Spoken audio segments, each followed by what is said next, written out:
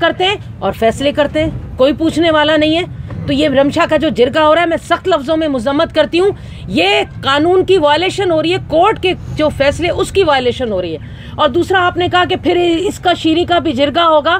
تو یقین مانے، اگر ہوا تو میں پھر سوال پوچھوں گی سی ایم مراد علی شاہ صاحب کے، آپ کی حکومت میں اگر بیٹیوں پر جرگے ہوں، اگر بیٹیوں کے اوپر جرگے ہوں، تو میرے خیال میں پھر آپ کو سی ایم ہونے کا کوئی حق نہیں ہے۔ ریزائن کریں۔ استعفیٰ دیں، گھر جائیں، پھر آپ کی کوئی ضرورت نہیں ہے۔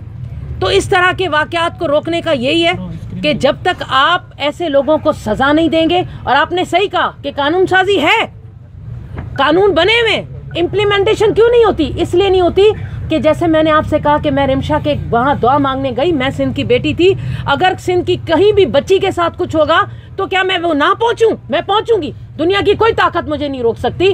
تو وہاں کس طرح کا میرے ساتھ بیہیویئر ہوا؟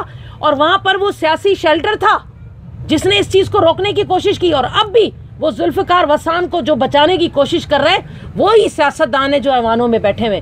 تو شیریں کے ساتھ بھی خدا نخواستہ اگر کسی نے جرگا کرنے کی کوشش کی یا یہ جو ابھی پکڑا گیا ہے کیا نام ہے اس کا؟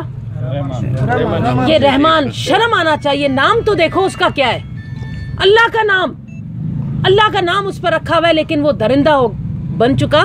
تو ایسے شخص کو اگر کسی نے بچانے کی کوشش کی تو میں ابھی یہاں سے اٹھ کر میں ضرور جا رہی ہوں۔ پرسن ناکام ہے پے در پے۔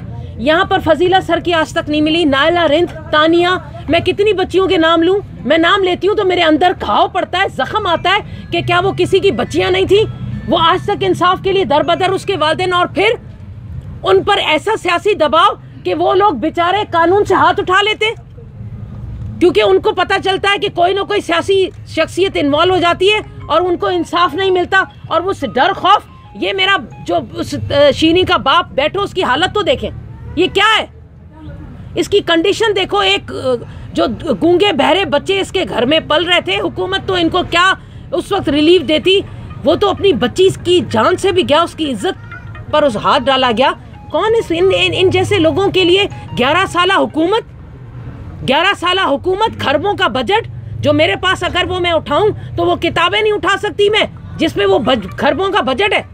اور اب بچیاں ہماری ریپ ہوں ان کے والدین در بدر تڑپتے پھرے رلتے پھرے تو بہتر ہے ایسی حکومتوں کو استعفیٰ دے کر گھر جائیں۔ سی ایم مراد علی شاہ صاحب اور بلاول زرداری، آپ اب سندھ کی حکومت نہیں سنبھال پا رہے۔